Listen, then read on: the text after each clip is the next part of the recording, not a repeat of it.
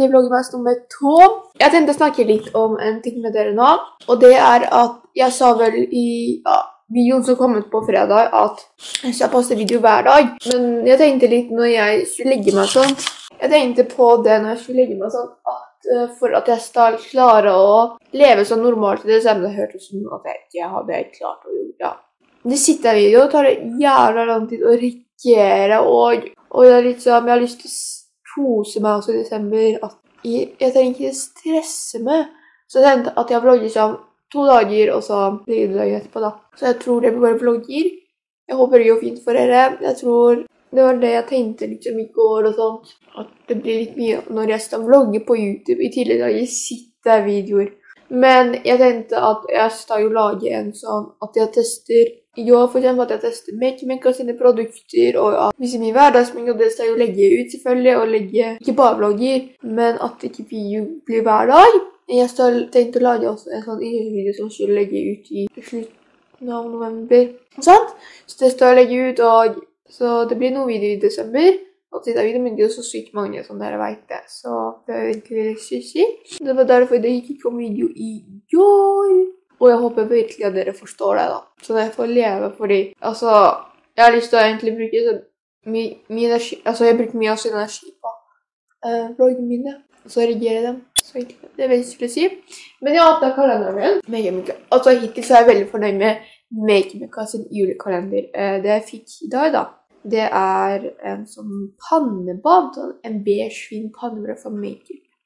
Jeg, sånne, sånne pannebånd har jeg leta etter overalt. Så jeg kan, jeg kan bruke når jeg sminker meg, eller jeg kan bruke når jeg skal opp. ta bort håret mitt når, i løpet av dagen. Så da liker jeg sånn å bruke sånn å ta bort håret i løpet av dagen. Og sånt, så det pannebåndet her kommer til å, bruke, kommer til å bli brukt mye. Da. Men så sagt, hittil så syns jeg at kalenderen er veldig bra. Og... Men jeg må starte på en vlogg på TikTok, for det skal legges ut i kveld. Jeg prøver i dag.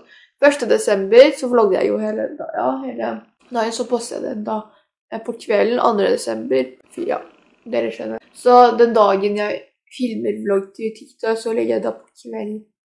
Men jeg håper dere forsto det jeg sa om det med vloggen og sånn. Det blir litt endring nå, sorry for det, men jeg må få levd litt. Og jeg står på julebord 21. desember med noen venninner. Ha- vi tenkte å ha en julebord sammen, og det er første gang jeg står en julebord. Eller egentlig ikke. Mm, før korona så var det sånn at vi hadde julebord hos naboen min eh, eh, med naboer og sånn. Men det er liksom Jeg syns det var julebord, men ikke sånn ordentlig julebord. Så jeg skjønner. Så vi skal spille Egon på Egon, og det jeg veldig mye til. Ok, folkens. eh, nå står jeg faktisk på rommet mitt. Fordi jeg skal ta Jeg skal vaske eller ta sengetøyet mitt inn i vaskemaskinen, for jeg skal vaske det nå. Og få liksom ren sengetøy. Jeg liker å vaske sengen mitt andre hver uke på fredager, så det skal jeg gjøre. Tøy, da, ja. Det, det er det jeg skal gjøre. Det er. Alltid på morgenen så ser jeg på vloggen som kom ut i dag tidlig og sånt, og så så jeg på jeg drakk noe så på vloggen som i går, så det må jeg se på. Så kommer jeg sannsynlig i dag av noen, så det er det. Mm, men i morgen går så gjør jeg også mitt. Det er jo greit å ha. Jeg må bare støvsuge her i dag, så slipper å gjøre det i morgen. Og vaske mine beautyblender i dag, og hoster i dag. Det er planen min også. For jeg, tenker, jeg ikke plage meg sminke. Jeg tror jeg bare fikse mine bryn i dag, bare. eh, Etter jeg vaska badet, for jeg skal vaske badet også i dag. Det forskjellen med dette året her og i fjor var at i fjor så hadde jo jeg mye skole, så jeg følte det ikke skjedde så sykt mye. Og da fikk jeg melding fra Jessene Storsenter at man må bruke munnbind på senteret. Så var det så er det greit. Nå, ja, men det er liksom, jeg vet når jeg bruker munnbind, så får jeg så jævla dårlig, dårlig hud og sånn. Og det orker jeg ikke. Jeg er som har ikke fått uh, urene, eller urene, jeg bare har nå. Jeg har ikke fått noe urene på en måned. Eller, nå er jeg litt urenete, få urenete da på grunn av mens, men det, det er veldig få. Men i morgen så skjer det ikke mye. Jeg tror jeg skal bake pepperkaker nå, kanskje.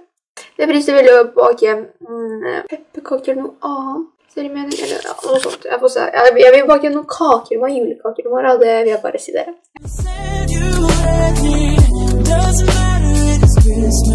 In. And I can promise Santa's coming to visit.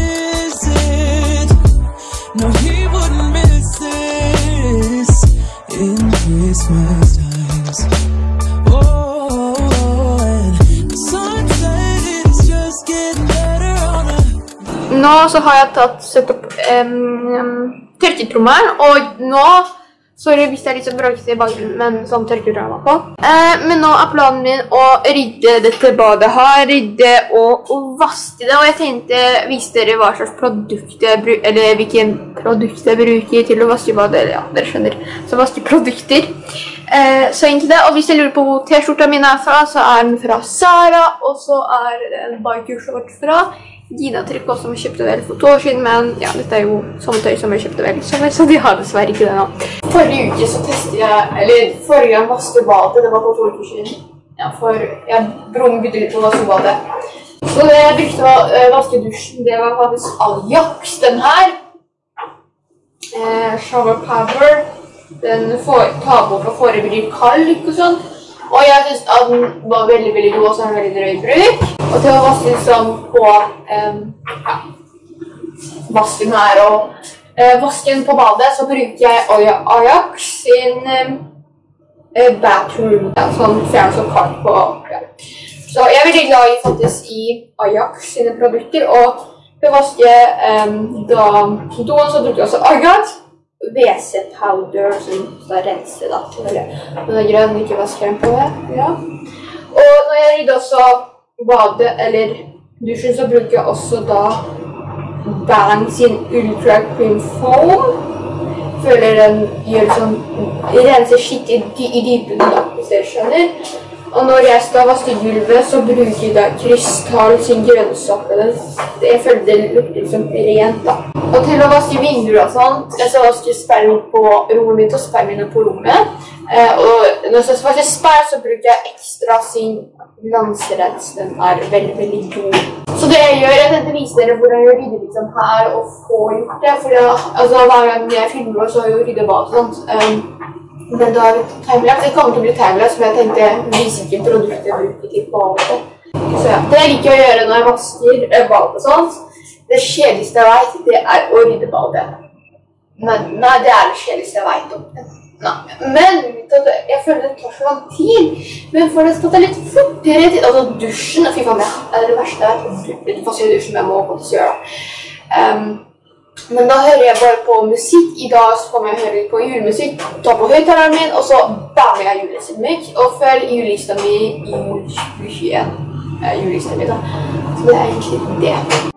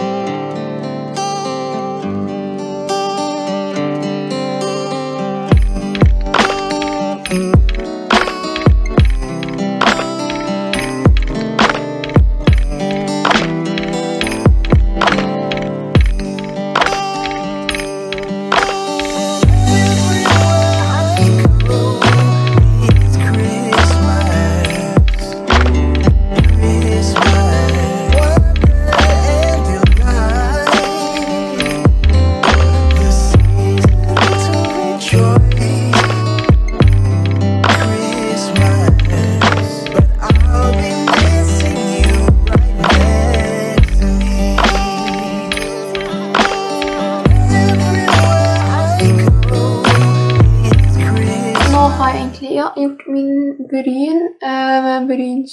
Ikke bryn på maten, men en brynsopp med den framvekkervekka som jeg viste dere i forrige vlogg. Og så har jeg reagert aller første vloggmas, um, som står ute rundt om fem minutter på kanalen min. Og jeg har vært veldig fan av sånne bryn i det siste, og jeg er veldig fornøyd, egentlig.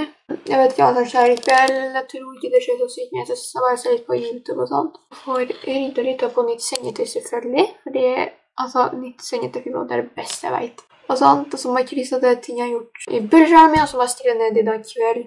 Hva skal jeg gjøre i morgen? Sånn at sånn ish. Jeg tror jeg mest sannsynlig jeg kommer til å posene mine i morgen. Så jeg får for det første jeg var på Madrid i dag. Men jeg tror jeg kommer snakke mer i hvert fall i morgen.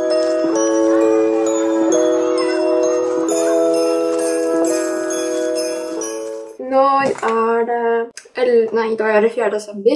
Det skjedde egentlig noe så sykt mye i år. Klokka forresten er 105. Jeg sto for en time siden og lagde frokost. Men hun pleier rutine, og jeg, må, jeg måtte vise på TikTok, eller begynne på en vlogg. eh, som jeg skal vlogge i løpet av dagen i dag. Og da viste jeg, en dag så viste jeg vel kveldsrutinen min der, men tenkte da så kan jeg vise da 4. desember-vloggen min morgenrutine. Men jeg glemte går eller jeg kom på en går at jeg lurer på hvor jeg setter kameraet det er og sånt. Jeg har jo GorillaPod. Jeg kjøpte vel da i sommer en gang. Jeg brukte så sykt mye. Det er sånn jeg føler eh, hvis liksom Altså, nå kan jeg kanskje Jeg føler det blir lettere for meg som å sminke meg eller vise jeg sminker meg i en vlogg. På en hånd på at jeg hadde en GorillaPod, og det er jo bra. Så kanskje da så kan jeg vise dere eh, tegnene av jeg sminker meg og sånn. Det kan jeg ikke, for jeg skal filme video på TikTok hvor det satt et sted pudder der. Eh, Hello Pretty Powder Foundation, den sånn i matt, for vanilja. Og så på så lenge en reel på bryn, så tenkte å legge på TikTok og på min Insta, en reel på Insta. Men det jeg sitter her nå, det er fordi jeg skal åpne kalenderen med dere. Jeg tenkte å gjøre det på at jeg snakker i dag, fordi i disse dagene siden første, så har jeg bare eh, gjort det når jeg var på stua på morgenen, og så åpnet mens jeg så på YouTube på hans. Og da tenkte jeg da kan snakke med dere, så en liten, en liten reaksjon på det. Så min jeg også fikk jeg jo en pannebånd, det har jeg brukt mye, og jeg elsker det allerede. Og den casen har jeg brukt mye, mye. Og den bronsen testet jeg ut for to dager siden, og jeg liker den ikke så like den godt, så jeg tester, tester, tester også den ut. Når jeg skal få noen nye sminkeprodukter, eller kjøpe nye sminkeprodukter, så liker jeg å teste sånn ish en uke. da. Så da åpner vi den. Skal vi se hva det er? En kost, vet du hva? Jeg har hatt sånn, og det er sånn der detaljkost. Det er litt sånn, jeg tror, man, ja, detaljer hvordan man kan ta, jeg kommer til å ta uh, i, inni, inni ytterst. Det, det sånn tross har jeg trengt, og det jeg liker med det, det er liksom hvordan er rosegur, og jeg elsker rosegur. Så har det øyenskikost, den er også veldig fin. Så det var det. Jeg hittil så er veldig fornøyd med Make Makeup i kalender. Jeg har alltid vært fornøyd egentlig med Make Makeup i kalender. Eh, for to år siden så hadde jo Make Makeup eh, sin kalender, og da var jeg eh, veldig, veldig glad for den. Og fikk masse gode produkter.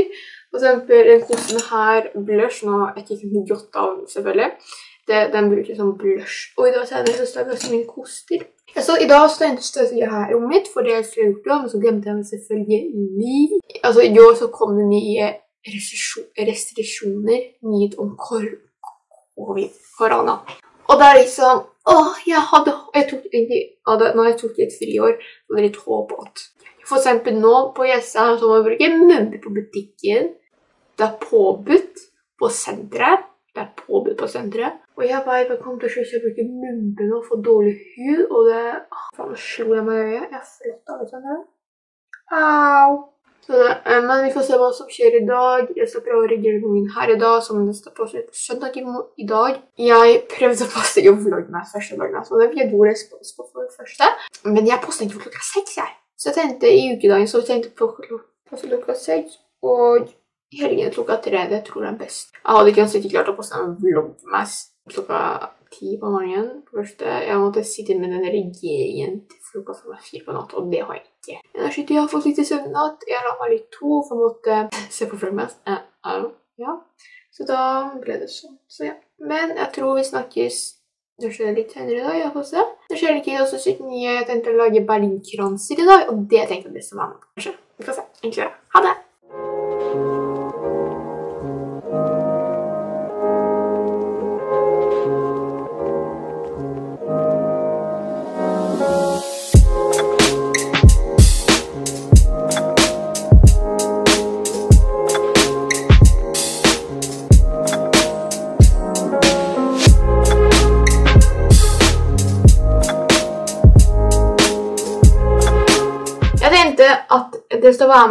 Teste en kos fra Makeup som fikk i dag. Jeg bruker nå Makeup, nei ikke Makeup, Makeup Colourpop sin Joan Coconut. Var nå, jeg liker veldig godt, men jeg tenkte å bruke forrige Punch. Øyenskyer er veldig fint, men jeg må selvfølgelig blende med beauty blend. Nei, beauty blend. Hva er det jeg sier nå? Jeg mener en uh, blending kost. Jeg hvis det ikke kjørt så sykt mye den dagen, så tenkte jeg å vise uh, kanskje litt sånn sminketing. Og teste noen produkter, selvfølgelig. Jeg kan ikke teste ut en case eller en panne, selvfølgelig. Men når jeg får sminkeprodukter og annet i Make Me så kan jeg få det. Ja, i forrige vlogg så viste jeg at forrige vlogg med video så var det sånn at jeg kjøpte meg Magasin Mascara. Det ble så fint også. Um, det jeg sa det var at um, ja, jeg kjøpte meg Magasin Mascara. Men tror jeg, ja, den pakka var jo piskalv. Det var, var minus 1 grader med maks, liksom. Eh, Den pakka så var pakka selvfølgelig kald, og jeg visste ikke at den maska måtte man åpne ikke før når den var romtemperert temperaturen det være sånn der eh, varm, liksom. Og det visste jeg. Da klarte jeg å knekke kosten. Jeg visste jo ikke det, selvfølgelig. Så da sa de at de kunne sende meg Men i- Og servicen til Melk helse. Mm, så påfører vi bare en skimmer i fargen Coco Crush. Bare hår og hår, litt sånn Jeg må alltid ha en skimmer på lokket, hvis ikke så føler jeg ikke Noen ganger så har jeg bare matt øyenskygge, da. Den um, palettet her Ja, det palettet her Nydelig. Men i de siste dagene så har jeg testet da brow-soppen til Make Mika. Den er veldig, veldig god. Eh, det kommer faktisk to sminkemoduler snart, håper jeg. Eh, og da viser jeg litt at jeg tester browse på dem og sånt, og eh, noen andre produkter jeg kjøpte ved Polen. Tar det film, jeg fikk ikke den for en måned siden og sånt. Bronse jeg brukte der forresten, som dere så var denne her. Eh, den er dritgod. hittil, synes jeg er veldig god. Ja, det, det ser veldig sånn skikkelig varm bronser. Men hvis du tar veldig lite så funker den. Så det er veldig pluss. Nå tar vi på 70 Eller det noe? Jeg bruker Maxin er den beste setten som jeg har testet ut.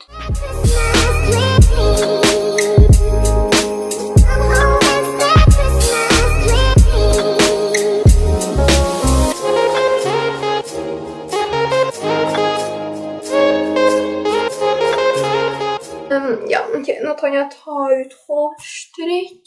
Så det er egentlig min mm, Hva er det som Eller jeg testa ut for første dette pudderet her. Eh, og jeg syns at um, det er veldig bra pudder. Det er veldig fin mattpudder, vil jeg si. Veldig, veldig fin Ikke så full-DGC-pudder, eh, men en veldig fin pudder. Mm, og så den her fra Make Make Hello Pretty Powder Foundation med sånn glød. Den i glød. for den gir glød. Den gir glød. Den, den gir bare glød. Så hvis du er ikke så glad Hvis du har olje oljete hud eller noe sånt, så no go. Men hvis du har tørr hud på der, det. er så mye bedre ut. Det ser så mye bedre ut. Så det her de to pudrene mine absolutt favoritt nå i det siste fra Make Mekka. Den her kjøpte jeg på salg på Black Week, og den kjøpte jeg også på salg for to måneder siden. Og de likte jeg veldig, veldig godt. Eh, Når jeg var på Hollywoodfesten, så spurte jeg så sykt mange hvordan jeg fikk så fin hudsminke, og det er på grunn av det pudderet her, vil jeg si. Mm, Det er annen pudder som dere får se et sminkevideo som jeg tester ut. Men det får dere se en annen sminkevideo. Men nå er klokka Jeg filma for første på eh, TikTok og på Weir på Insta hvor jeg gjør mine bryn. Det tenkte postet ut den videoen her poster på søndag, så i løpet av uka. Neste uke så tenkte jeg å den ut. I dag så skal jeg redigere en, makeup. Gangen så har jeg satt poster på TikTok. Jeg tenkte posten morgen, kveld eller tidlig morgen. Jeg vet da faen. Ja, noe sånt. Men det var klokka ett. Um, nå tenkte jeg å få rydda litt her, det sminken og sånn. Og det er egentlig det jeg skulle filme de tiden i dag, så det var faktisk ikke meg. Men ja, jeg forstår hva som skjer. Jeg tenkte å se litt på Vlogmas fortsatt, og egentlig det. For dere kan mest mest på De kan jeg følge med på sånn på kvelden, og da jeg har lyst til å få at de vloggene har jeg ikke sett på før nå. Så det, jeg ser på en eh, Vlogmas nå. Så ja, så du hører klokka to, så tenkte jeg å begynne på å redigere denne vloggen her, fordi ja. Klokka tre så sa jeg at mamma er på en serie. I senere kveld så sa jeg lage bergensfranse, så egentlig det.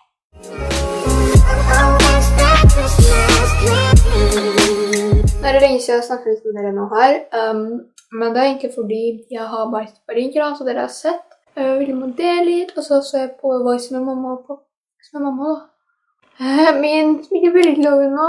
Jeg tenkte at jeg skal avslutte denne vlogmessen nummer to. I morgen er det 5. desember, og jeg føler det går så sykt fort. Jeg håper dere har likt denne vlogmessen her. Har liksom vist litt, kanskje litt innhold mer enn den første vil jeg si er liksom uh, hva Hvordan skal jeg si det? Det er liksom mm, Ja. Jeg viste at jeg ville bad og helt på det er, og i dag så viste jeg litt at jeg test, skulle litt pudder, og så viser jeg litt sånn sminke mi og sånt, så det jeg håper dere likte det.